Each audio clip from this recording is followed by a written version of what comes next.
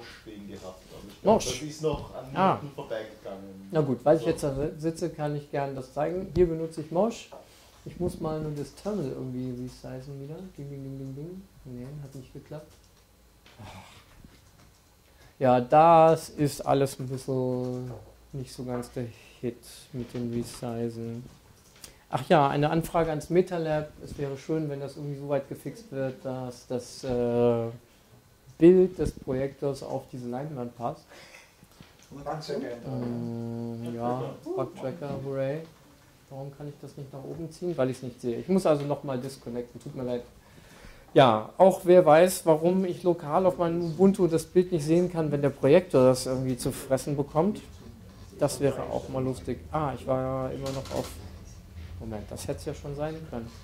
Habe einfach nur auf F11 drücken müssen, um das wieder dorthin zu bekommen, wie es vorher mal war. Anscheinend hat sie sich das gemerkt. Und schauen wir mal wieder auf das Reconnecten. Das schöne Grün verschwindet. Lindgrün. Schon fast ein Windgrün. Hm. Ja, vielleicht passiert ja gleich was. Und? Und?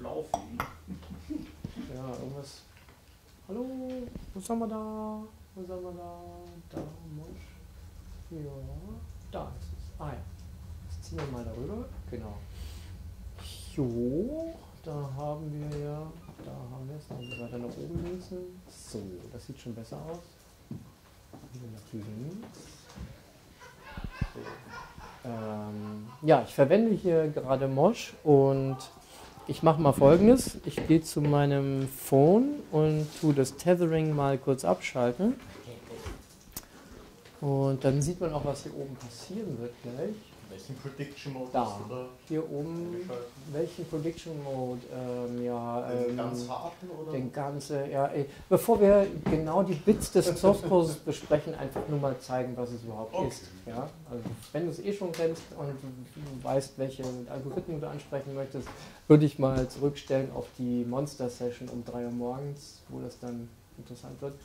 Ähm, Network is unreachable. Das ist also der Effekt. Das Ding zeigt dann auch an, wie lange das schon ohne Contact ist. Und ja, auch hier gilt, das ist ja ein Verbindungstool, auch das muss äh, Kommandos entgegennehmen können. Und äh, wie beim SSH kennt es da auch ein Meta-Zeichen.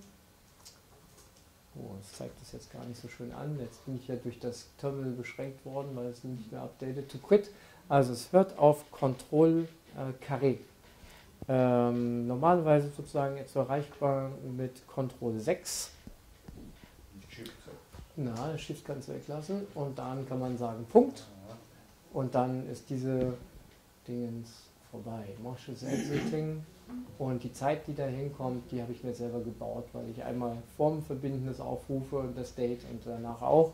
Einfach nur, um genau diesen Effekt zu zeigen. Da habe ich mich mal verbunden, da ging es los und da hörte es auf. Das ist so sehr billig einfach gebaut. Bauen wir das Ganze noch einmal auf. Achso, warum eigentlich? Man sieht es gar nicht ein Alias macht, also eine Mosh-Verbindung auf K. K wiederum ist ein Alias für das SSH, ist also definiert im SSH-Config. Da steht das drin. Ähm, ja, müssen wir jetzt aber glaube ich nicht unbedingt zeigen. Nur wer hat den Printer angestellt? Der ist ein bisschen nervig irgendwie. Naja, aber na gut. Gehen wir wieder zurück zu dem Verbindungsaufbau. Achso, braucht natürlich wieder Tethering, USB Tethering einschalten, zwei Moment warten. Das Schöne ist eigentlich auch, wenn da unten das Dings mitlauft. Ja, jetzt haben wir das wieder nicht direkt drin. Aber hier sehen wir, dass auf dem ersten Hop schon, es gab nur Fragezeichen. Ja, da kam nichts an und nichts zurück. Hier kommen jetzt auf einmal die Punkte und hier unten sehen wir, naja, wir sehen, dass es da jetzt wieder weitergeht. Ja.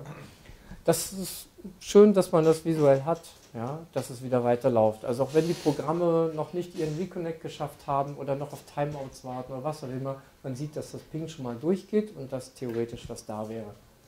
Schalten wir wieder zurück und rufen die Verbindung auf.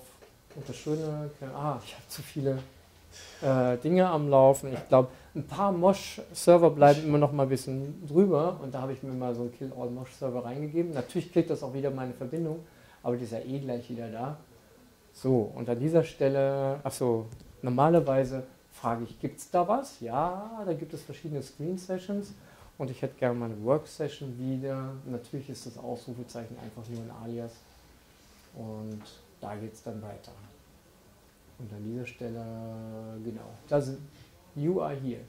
If you're watching, das sind die URLs für den heutigen Event. So, jetzt aber genug von mir. Ihr seid dran. Wer war der Nächste? Ich habe noch eine Frage zum Mosh. Eine Frage zum Mosh, ja? Ja, was, äh, was mache ich, wenn da zu viele Server laufen?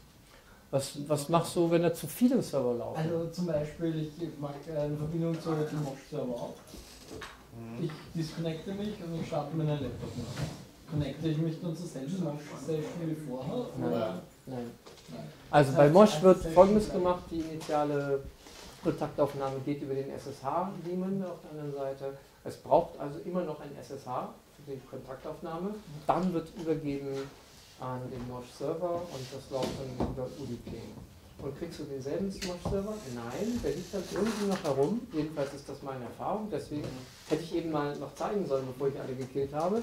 Aber ja, die sammeln sich dann an. Und da ich ein Maximum äh, an Prozessen links da gesetzt habe und dann noch einiges läuft, äh, bin ich da gerade an die Grenzen gestoßen. Deswegen das Kill All Mosh Server. Und den Screen kann man erreichen. Das ist die Session erhalten. Ja. Ja, ja, na, das ist. Ja. ja. Du machst eine neue Mosh-Session auf zu deiner alten Screen-Session. Ja, Ja. du das. Heißt, äh, wenn dein Laptop abstürzt und neu startest und was immer passiert, wenn du nicht mit dem Server connected bist, Kannst du das noch ins Stackfile schreiben? Ja. Ja. Äh, Ähm. dann passiert das, dass äh, der Server irgendwie diesen alten Client, der gar nicht mehr existiert, noch immer drinnen hat. Und, und ich hatte eben das Problem, dass er dann halt immer mehr alte Clients ansammelt, die sicher nie wieder zurückkommen werden und einfach wartet. Ja. Weil er nicht weiß, ob der Client jemals wieder zurückkommen wird, was ja passieren kann. Ja. Mosch. Gut, who's next? Mm. Richard. Forensik-Tool? Hm? Forensik-Tool? Forensik Tool, was